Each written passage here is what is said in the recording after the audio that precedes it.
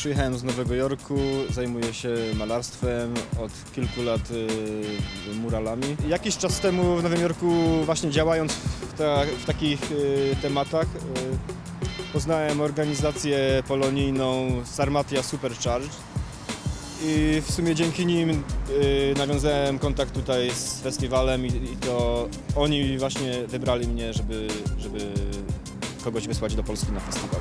Jest to inicjatywa, która jest mi bardzo bliska. Y, Od jakiegoś czasu właśnie interesuję się polską historią, a zwłaszcza II wojną światową i, i okresie po, po wojnie.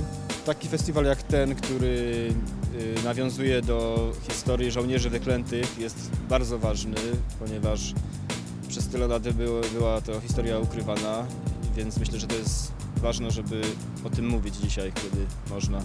Mural nawiązuje właśnie do żołnierzy, do partyzantki, którzy się ukrywali w lasach, dlatego jest tutaj twarz jakby wyłaniająca się z lasu, która y, symbolizuje właśnie tych żołnierzy, którzy się ukrywali.